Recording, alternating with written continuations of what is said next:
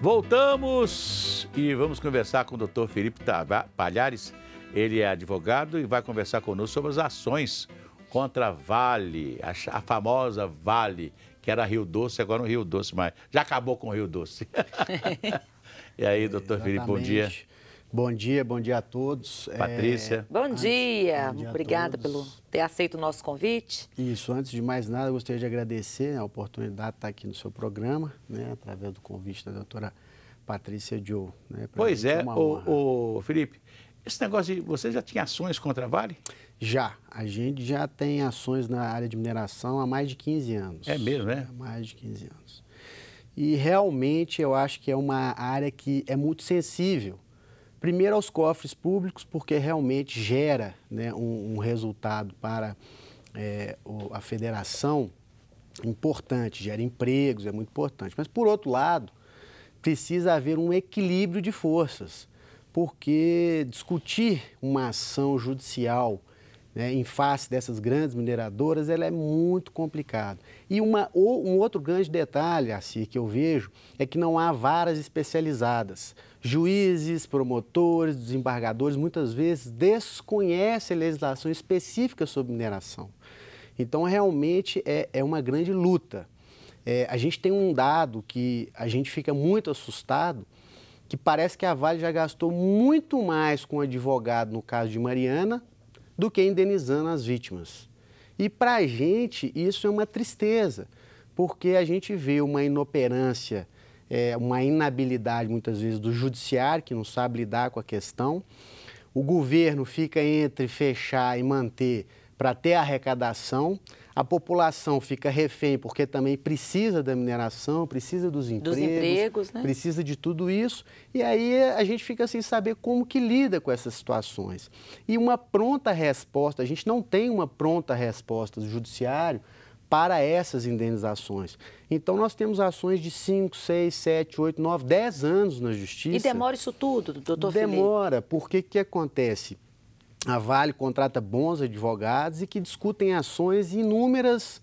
É, é, inúmeros... Nas suas nuances, nas coisinhas, né? o cara pega num, numa vírgula. E, e, e recursos, é. assim, que entram com recursos. A gente tem casos, assim, que dá dó das pessoas. Muitas vezes entram com ações de servidão minerária para tirar as pessoas daquele lugar para poder fazer e usar, usar a mineração naquelas áreas. Explorar, né, o minério Explorar daquela área. E não indeniza as pessoas. Aliás, até a mesma exploração minerária tem isso, né? O sujeito vai no DNPM, faz lá um registro de uma área, mesmo se você está ali, um fazendeiro está ali com a fazenda sua há muitos anos, assim, ó, o, o subsolo é meu. E pronto, e aí? Não, e isso para a gente é um grande absurdo. A gente tem famílias e famílias há 10, 20, 30 gerações que moram naquele local, muitas vezes vivendo daquela área, vivendo daquela terra, do cultivo que tem ali, e chega uma mineradora falando: olha. Aqui o subsolo é meu porque eu requeri no DNPM. Foi assim que o Ike Batista fez em Minas Gerais, né?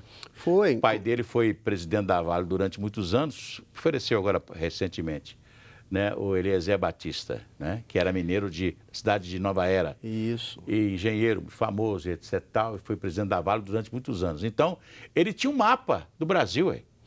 É. Sabia onde que vai, onde, que, onde, onde tem, onde não tem.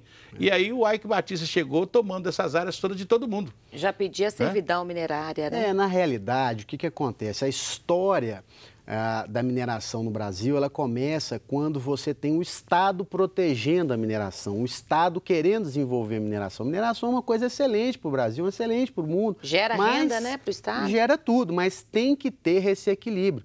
Como eu havia estava comentando, tem famílias inteiras, gerações inteiras que viveram naquelas áreas que tem minério. As mineradoras entram com ação de servidão, Vem um perito, desculpa, a grande maioria dos peritos não entendem a matéria uhum. e faz uma avaliação, assim, do que, que vale aquela casa ali. Um pedaço de tijolo, com isso, com aquilo. Indenizam, as indenizações são irrisórias, a pessoa sai dali não consegue comprar nem outra terra, nem compra construir nada, outra. Né? Não compra nada, e não consegue nem ainda é, comprar um outro imóvel da, do mesmo padrão, mas ele não quer sair dali. E, e nem é... calcula também o valor sentimental daquele é espaço. Fora né? o valor sentimental, é... os bilhões de dólares que eles vão tirar daquela área. E muitas vezes as pessoas, mineradora com contra-resposta, ah, eu estou tirando ele dali, mas eu não vou minerar. Poxa, se você não vai minerar, então para que você entra com uma ação que chama ação de servidão minerária para tirar uma pessoa de uma área que você não vai precisar, que você não vai minerar? Então, qual, é. qual que é?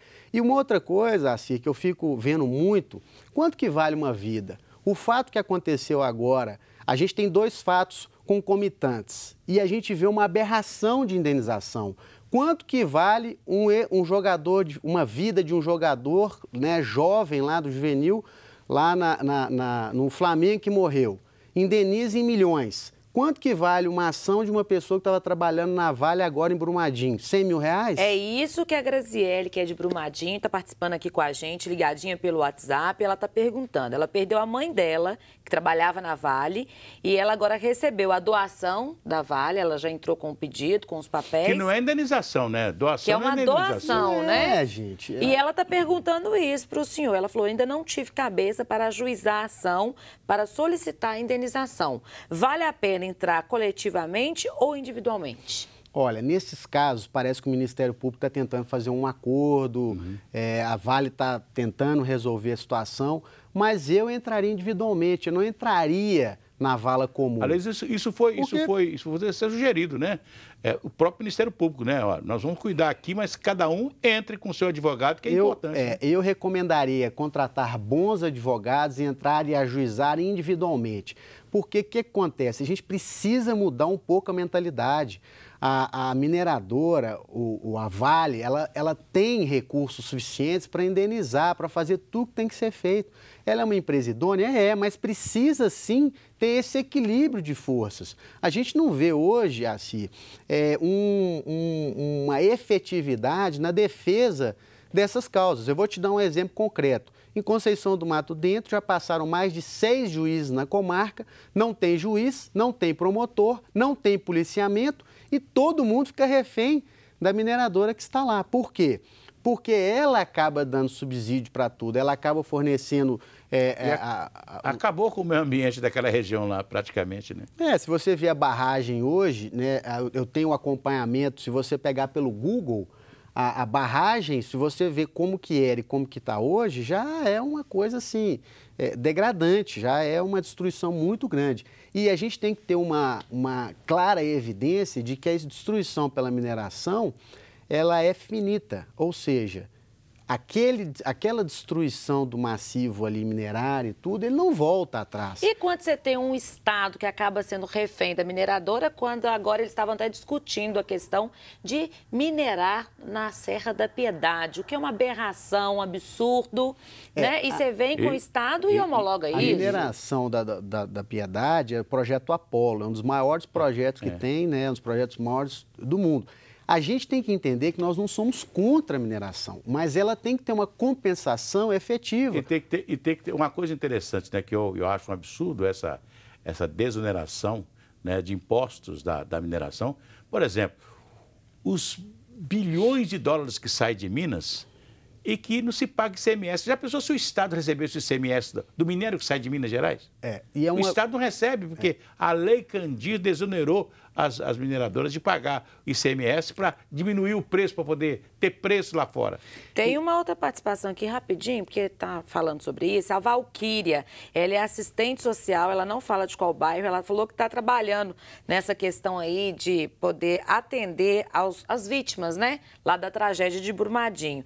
E ela está falando o seguinte: olha, quando chega com a imprensa, resolve. E com o Ministério Público também. Agora a Vale está fazendo é propaganda publicitária fingindo que está resolvendo Até as coisas. Até mesmo essas, essas eu, eu entendo assim, isso que houve lá em, na, no Congo Soco, lá em, em, Barão de Cocais, o que houve em Tatiaiuçu e agora recentemente em Macacos, é apenas um paliativo para tirar uh, o pessoal da, do foco lá de Brumadinho. Exatamente. Porque para Vale dizer, não, nós temos aqui, nós temos a, nós temos a, a, a os nossos, os nossos é, é, é, é, ação preventiva. Ação preventiva, né? nós temos aqui as sirenes que vão tocar e não sei o quê, está tudo funcionando, mas porque lá não funcionou. É, exatamente. E existe, na realidade, hoje, só no estado de Minas Gerais, mais de 800 barragens.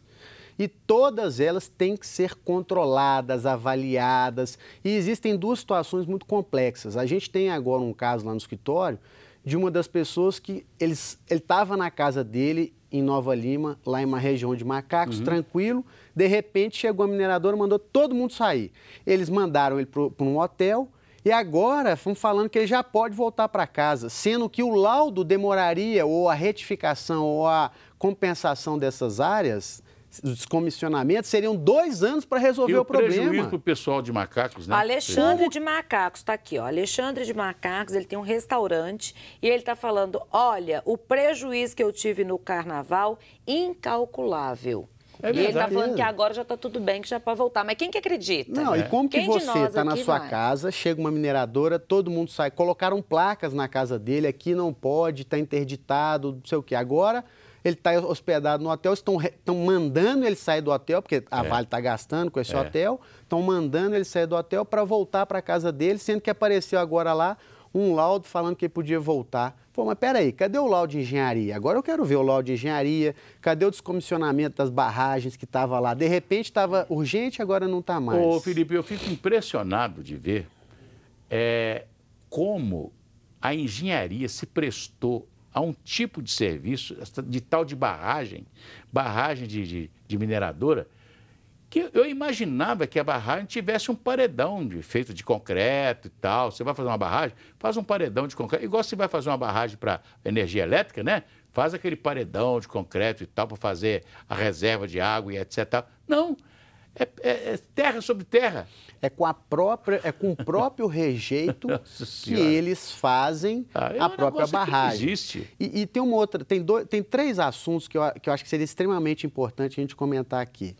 Por que também não há o, o tratamento específico das barragens? Porque antigamente, assim, e Patrícia, é, hoje a barragem ela constitui uma reserva minerária. É. Existem muito minério, existe muito minério dentro dessas barragens. Inclusive ouro, você sabia? Ouro, minério. Então, tem ali 68%, 48%, 58% de teor de minério naquelas barragens. As barragens ainda são reservas minerárias para as mineradoras, que ainda no futuro serão explorados.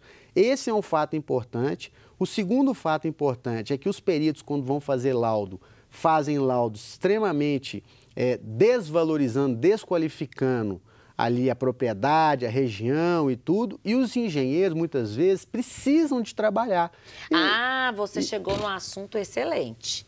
Porque para quem acompanhou aí várias matérias com relação aos empregados da própria Vale, os engenheiros eles falam o seguinte: eu fico muito assim voltado para a chefia da empresa né? E aí as empresas contratadas também tem lá o depoimento do cara que assinou, claro, o cara, o cara, falando que estava tudo bem. Você não contrata a empresa para dizer não para você, você claro. contrata a empresa para dizer não? É. Exatamente. Você contrata a empresa para dizer sim. Então, a, e, e, aí a grande maioria dessas empresas, sem querer tirar a idoneidade delas, muitas vezes fala assim, olha, existe um risco, mas ele é calculado, a gente Coloca precisa, a gente precisa que vocês façam ali aquela manutenção é, mensal, sistematicamente anual, mas não há um efetivo controle do poder estatal em relação a isso. Ou seja, quantos fiscais tem para fiscalizar a quantidade de barragens? Se foi feito o relatório, se foi feito os comissionamentos, se foi feito isso, se foi feito aquilo, não tem. Olha, infelizmente nós vamos continuar vivendo as, as mesmas coisas em Minas Gerais, porque eu não vejo uma preocupação de governo,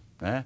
Eu fico assim apavorado quando eu vejo tantas mineradoras na área por exemplo, de nascentes do Rio das Velhas. Né? Pode faltar água em Belo, em Belo Horizonte, não só pelo que eles estão fazendo com as nascentes do Rio das Velhas, como também o que pode acontecer com as barragens que estão no caminho do Rio das Velhas. Com certeza. É não? Ali é uma região maravilhosa. É não? Então, quer que... dizer, é triste você saber disso, né? Que a MBR deixou de fazer mineração porque houve, em 1974, 75, uma reação da Assembleia Legislativa de Minas Gerais com a MBR, que senão eles tinham destruído o maciço de, de serra nosso, né? O maciço ficou, mas vai ver do outro lado é. que ficou. Aí o pessoal fala assim, olha, Nova Lima é muito bem, porque a mineradora ajudou muito Nova Lima. Nós temos a mata do Jambreiro, que a mata foi preservada, mas depois de uma briga muito grande oh. da população de, de daqui do, do é. entorno de Belo Horizonte e, e, com Nova Lima. Agora, eu gostaria de convidar todos os telespectadores, ouvintes, que vocês visitem as cidades de Barão de Cocais, Santa Bárbara, Itabira. vocês vão ver é, Congonhas. A Cláudia de Congonhas, as ela cidades, fala que fica apavorada. Não, e as cidades não têm benefício nenhum, porque se, as cidades estão simplesmente destruídas. Todas empoeiradas. Aliás, o pessoal lá de, de Barão de Cocai já tem um nome de pés de pomba, né? Porque onde é, se pisa, é, né? é, é, na cidade. E, e é. uma outra informação também, assim, que eu acho que é, que é pouco difundido, pouco falado, é que o superficiário, que é o dono da terra, ele tem direito a receber resultado da participação da lavra. Tá certo. É o, o, que seria certo, né? O, mas que ninguém paga, nenhuma mineradora paga. Por quê? Porque, na realidade, muitas pessoas não têm esse conhecimento. Eu não sou obrigado a vender a minha terra. Eu posso sair da minha terra, mas eu tenho o direito a receber o rote da participação no resultado da lavra, que é 50% do CEFEM. E eles não pagam. E a maioria, o que, que eles fazem? A maioria fala, ah, eu comprei a terra, então ele não tem mais direito. Porque a pessoa entra com uma ação de servidão,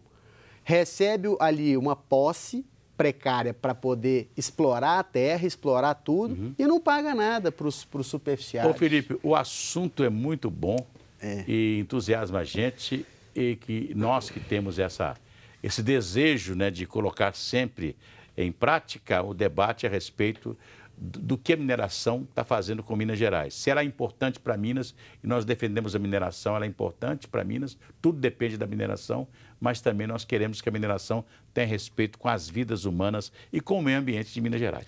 Quero com agradecer certeza. a sua presença aqui, né? muito obrigado, volte sempre, né? porque muito eu acho que é importante nós continuarmos conversando sobre isso. Patrícia, um abraço. Gratidão bom e alegria, bom dia. E até amanhã, se Deus quiser.